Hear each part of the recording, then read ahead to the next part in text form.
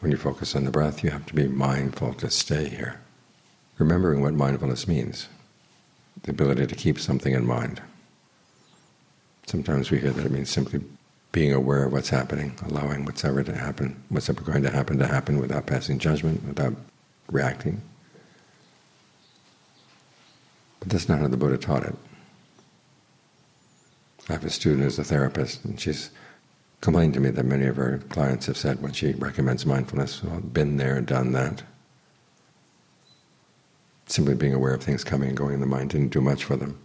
So she had to tell them, well, here we're going to do mindfulness 2.0, where once you know what's coming and going in the mind, then you figure out what to do with it.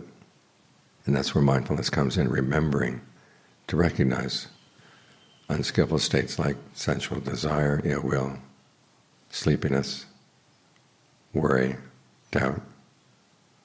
Realizing you can't let them stay in the mind, you've got to get them out. As for good states, it's like concentration, discernment, compassion, goodwill. Those are things you nurture. You don't just watch them come and go. If they haven't come yet, you give rise to them, and when they're there, you try to develop them further. That's called mindfulness as a governing principle. It's proactive, because we do have our duties. If you want to put an end to suffering, you have to comprehend suffering, you have to abandon its cause. And to realize the cessation of suffering, you have to develop the path.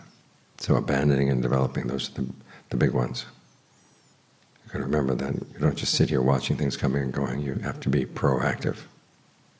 Cleaning out the mind when it needs to be cleaned out, preserving good states of the mind when they need to be preserved. And that way you really make a difference. And that's the whole purpose of the meditation, is to make a difference. That's why the Buddha taught, he wanted to make a difference. He saw the people were suffering. He said people were on fire with the fires of greed, aversion, and delusion. Their eyes, ears, nose, tongue, body, and mind were all on fire.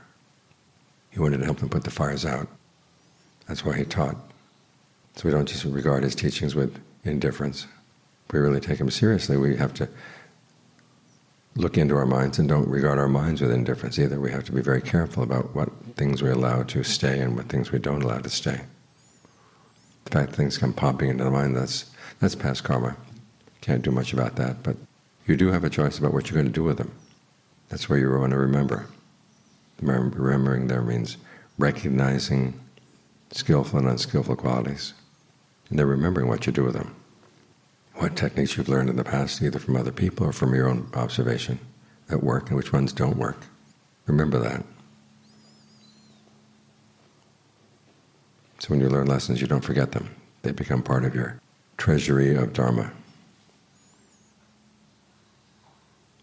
And that's what mindfulness really means.